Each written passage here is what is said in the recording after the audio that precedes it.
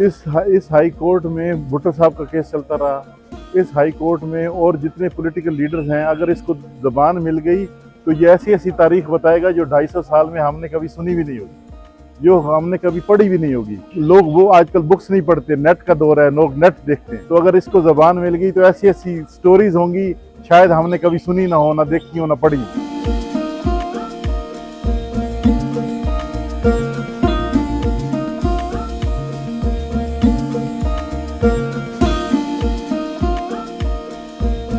अठारह में इसकी तामीर हुई थी। जो अंग्रेज़ था, उसने पाँच बोर्ड के, पाँच, छह बोर्ड के दरख्त लगाए। बार के लिए जो बोर्ड का दरख्त दिया, वो खाली दरख्त नहीं है, वो एक हेरिटेज है। वो एक हिस्ट्री है, सियासी हिस्ट्री है।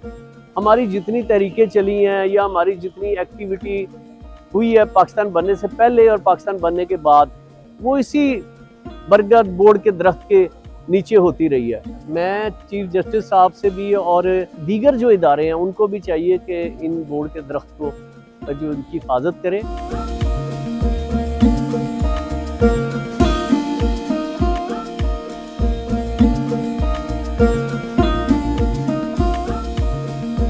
साइलिन शदीद गर्मी में जब आते हैं तो इन दरख्तों की जो छाँव है, उसके नीचे बैठ जाते हैं।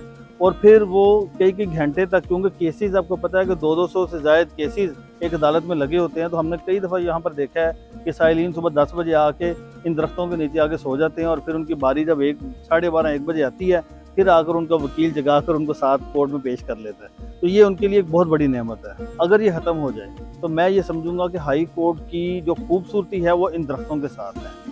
इसके बगैर हाई कोर्ट की खूबसूरती नहीं है।